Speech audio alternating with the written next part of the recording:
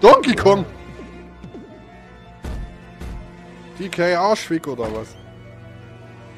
Das war ja jetzt voll das ähm, äh, Donkey Kong Arcade ähm, Easter Egg.